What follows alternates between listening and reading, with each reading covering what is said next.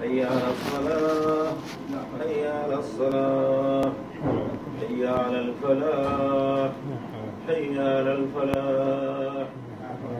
الله أكبر الله أكبر لا إله إلا الله. فضيلة الشيخ وفقكم الله يقول هل يجوز التلحين في الأذان والمدود الطويلة فيه؟ يستحب تحسين الصوت بالأذان. يستحب تحسين الصوت بالأذان لأن الرسول صلى الله عليه وسلم قال في بلال أندى أندى صوتا. يعني أحسن أحسن صوتا. فيستحب تحسين الصوت بالأذان.